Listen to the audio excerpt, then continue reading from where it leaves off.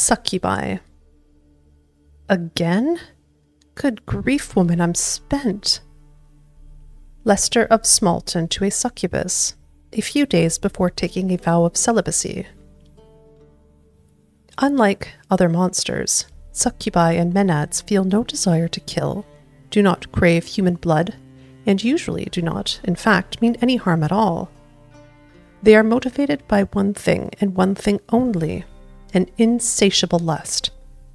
They try in vain to slake this by engaging in sexual acts with any other humanoid species they encounter. While it must be admitted that their victims rarely put up much resistance, this does not mean that succubi and menads do not present any danger.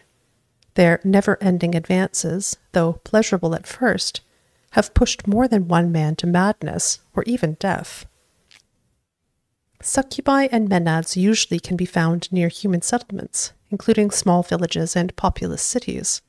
They prowl at night, though, when stricken by serious need, they will leave their lairs during the day as well.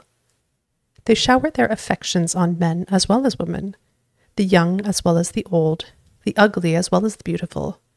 Some of them are particularly fond of pastors and other holy men, whose seduction they treat as a sort of game.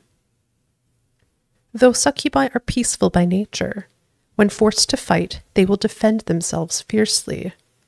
One should thus not be fooled by their fair appearance. Under the velvety skin of their arms lie muscles of iron, and a blow delivered with their rear goat like legs or the thick horns on their head can easily crush bone.